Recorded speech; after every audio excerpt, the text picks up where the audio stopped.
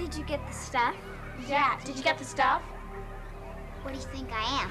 A wuss? Very funny, Jessica. Real funny. Pick them up. No.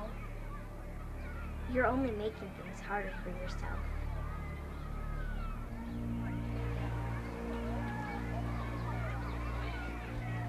You owe me a lot. Name your price. I don't care.